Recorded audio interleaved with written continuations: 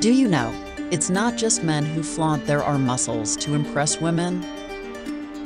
Kangaroos do too.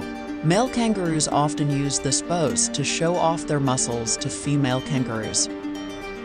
There is no difference between animals.